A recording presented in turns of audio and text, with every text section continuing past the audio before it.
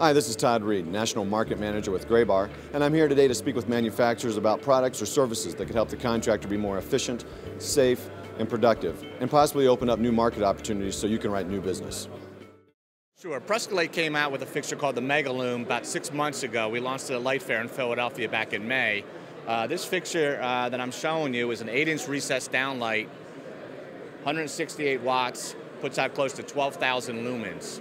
This is really for those high ceiling applications where typically you would have something like a 250 watt HID or a 500 or a 300 watt quartz. Okay. You're going to save energy. Uh, it's rated from an LED standpoint at L85 at 60,000 hours, which means at 60,000 hours you're still getting 85% of the light out of it. Okay. We offer, uh, if I can show you this, you can see the LEDs that are inside of it. There's strings of LEDs four strings of LEDs. Each string of LEDs is 42 watts. That gets you up to the 168 watts.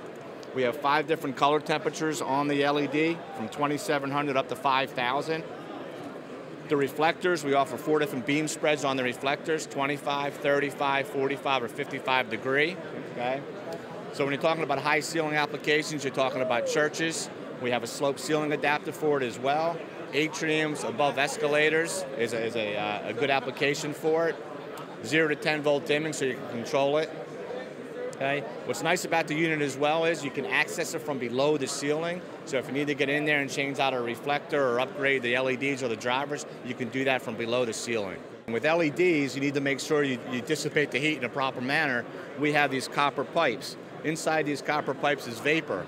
As it heats up, it turns into water and goes to this condenser to cool it off. This is a technology that's been around for a very long time. Prescolite teamed up with a computer manufacturer uh, to develop this uh, method to dissipate the heat.